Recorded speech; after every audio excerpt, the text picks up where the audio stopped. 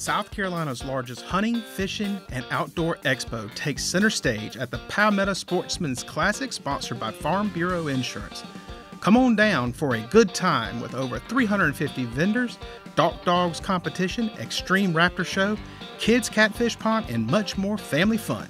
Hope to see you at the Classic March the 24th through the 26th at the South Carolina State Fairgrounds.